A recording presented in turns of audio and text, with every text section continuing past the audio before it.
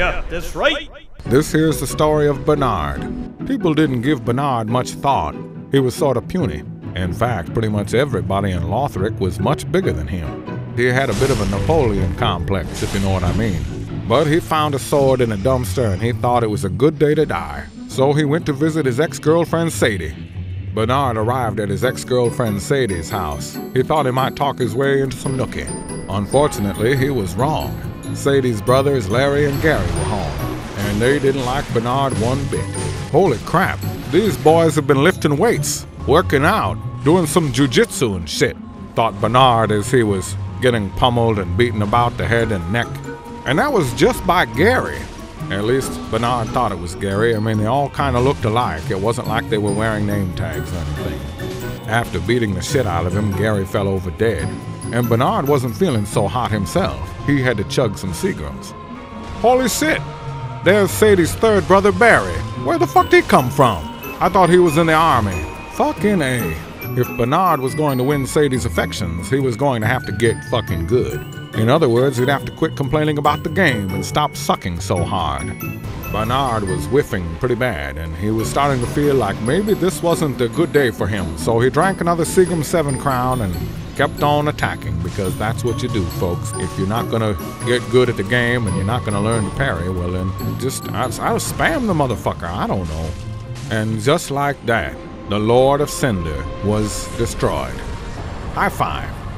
Bernard picked up some flaming cool gear, and he lit a bonfire in a barrel so he could roast some weenies.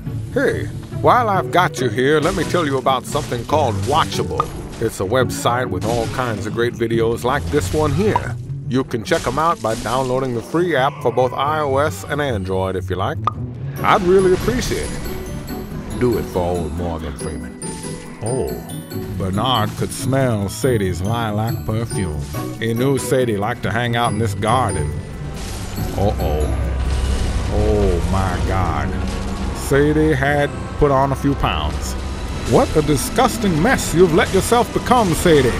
Bernard realized that the only thing he could do is hack and slash at her engorged pustules. Damn, Sadie, quit breaking the ground with your ass. Oh my god, there's like a crazy little baby arm coming out of there. This would require a little bit more drinking. Sadie had let her herpes get the better of her. Bernard always knew she was promiscuous, but he thought she wore protection. Oh shit!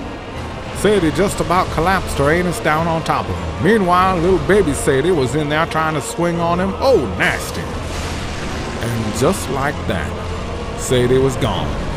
The ember was restored. And Bernard, he needed a hot fucking shower. Praise the sun, motherfucker!